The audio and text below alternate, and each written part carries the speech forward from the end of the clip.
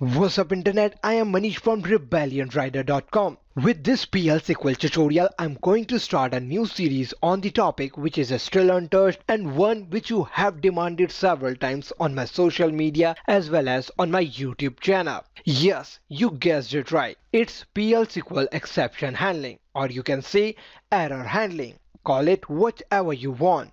Today's tutorial is an introduction to PL SQL exception handling. So without further ado, let's begin the tutorial with the question what is an exception? Any abnormal condition or say event that interrupts the normal flow of your program's instructions at runtime is an exception. Or in simple words, you can see an exception is a runtime error. There are two types of exceptions in Oracle PL SQL. First, system-defined exceptions and user-defined exceptions. Let's take a quick look at both these exceptions. But you can always head over to my blog for the detailed knowledge of the concept. I always try to put all the necessary links in the description of the video. In case I forgot, then you can remind me by leaving a comment. I always read all your comments. Anyways, let's move ahead. System defined exception. System defined exceptions are defined and maintained implicitly by the Oracle server. These exceptions are mainly defined in the Oracle standard package. Whenever an exception occurs inside the program, Oracle server matches and identifies the appropriate exception from the available set of exceptions from Oracle standard package. User defined exception. Like all other programming languages, Oracle also allows you to declare and implement your own exceptions. Unlike system-defined exceptions, these exceptions are raised explicitly in the PL SQL block. Don't worry, I will demonstrate to you different ways of raising user-defined PL SQL exceptions in Oracle database when we will do the example.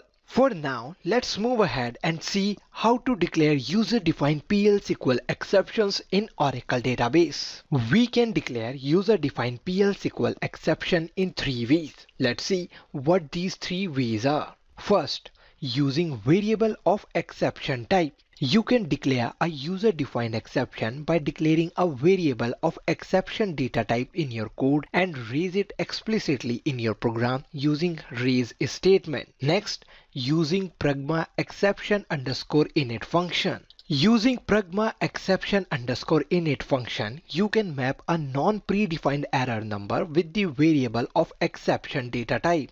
And the third way is using raise underscore application underscore error method. Using this method, you can declare a user-defined exception with your own customized error number and message. These are the three ways of declaring user-defined exceptions in Oracle PL SQL. We will do the examples demonstrating each of these three ways of declaring the user-defined exceptions in the next PL SQL tutorial. That's the quick introduction to the exception handling in Oracle database. Hope you will find this tutorial helpful. Do make sure to smash that thumbs up button. You can also help me and my channel in reaching out to more people by sharing this tutorial with your friends on your social media. And most importantly, don't forget to subscribe. Stay tuned and keep watching. I will be back soon with another PL SQL tutorial. Till then take care. This is Manish from RebellionRider.com.